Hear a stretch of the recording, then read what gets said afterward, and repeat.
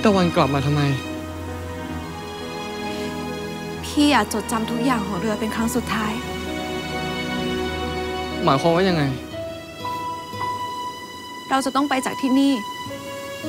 ไปเริ่มต้นชีวิตใหม่ เพื่อหนีจากคนบ้านเดชาบดินทร์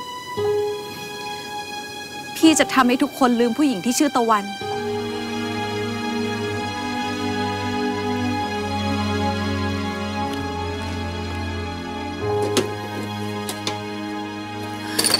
ตะวันจะทำอะไร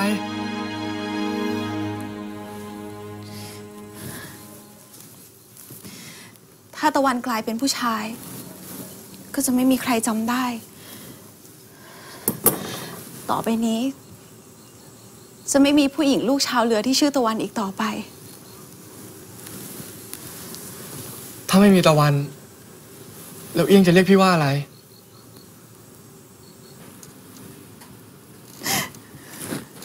ชีวิตพี่ตกต่ำเหมือนดวงตะวันกำลังจะดับแสง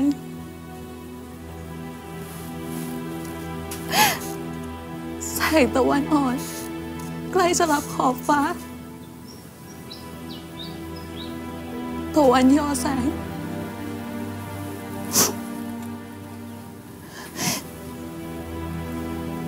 ต่อไปนี้พี่คือยอแสง วงตะวัน ที่ต่ำลงจนถึงจุดที่ต่ำที่สุดในชีวิต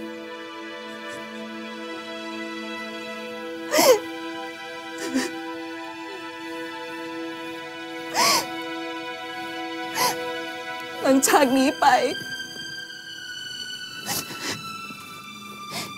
พี่จะทำชีวิตให้ดีขึ้นด้วยตัวของพี่เองเหมือนดวงตะวัน